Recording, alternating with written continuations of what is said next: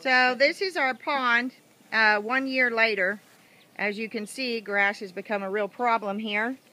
It's running grass in Augustine and um, Bermuda grass, and it simply will not stay out of the pond. So we're going to be doing some landscaping to get that a little bit uh, more, a little bit more difficult to get here.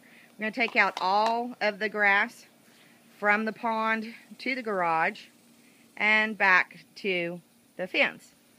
Um, we're also going to be putting in a bog filtration system. As you can see, the filter is not working well. We had some problems with the uh, waterfall staying level, and it was the water was actually rolling backward instead of forward. Plus the filters, they just take a real beating. There's another one over there in the corner um, in the in the heat. So instead of a plastic filter this time around, we're going to build a bog filtration and let the plants do the work for us on filtering all of the muck out of the pond.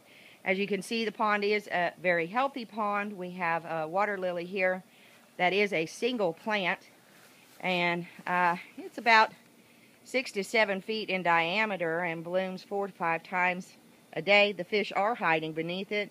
Water lily's obviously keeping the algae down at this point because it is draining all of the nutrients out of the water itself. So we're going to try and figure out a way to keep from disturbing the water lily and at the same time we're going to um, we're going to be making sure that uh, we get the uh, new floating um, the new floating